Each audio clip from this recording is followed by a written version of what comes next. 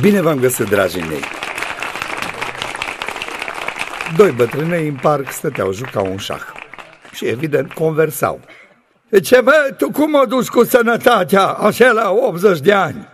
Eu bine, bine că am făcut progrese tare mari. Amu mă ptiși din ce în ce mai sus. Până amu mă, mă ptișeam pe bombeu, deci amu mă ptiși pe jerunt.